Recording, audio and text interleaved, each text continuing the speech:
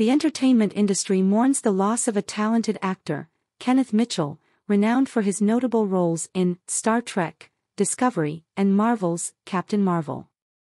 On Sunday, his family shared the heartbreaking news of his passing on his verified social media, leaving behind a legacy of over 50 film and television credits. Diagnosed with ALS in 2018, Mitchell and his family courageously shared updates on his health over the years. In August, he reflected on the fifth anniversary of his diagnosis with gratitude and resilience, acknowledging the challenging journey while emphasizing the support and love from friends, family, caregivers, and medical professionals. Hailing from Canada, Mitchell portrayed diverse characters, from the father of Carol Danvers in Captain Marvel to an Olympic hopeful in the 2004 hockey film Miracle. His presence graced numerous TV series, including Jericho, the Astronaut Wives Club, and Switched at Birth.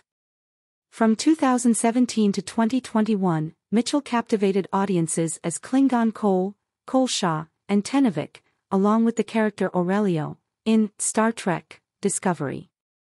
In an interview with StarTrek.com in 2017, he highlighted the complexity of his characters, emphasizing the importance of understanding different perspectives. Beyond his on-screen achievements, Mitchell's family described him as a hope seeker, daydreamer, dream believer. Despite facing the challenges of ALS for five and a half years, Mitchell's strength, grace, and commitment to a full and joyous life shone through, inspiring those around him.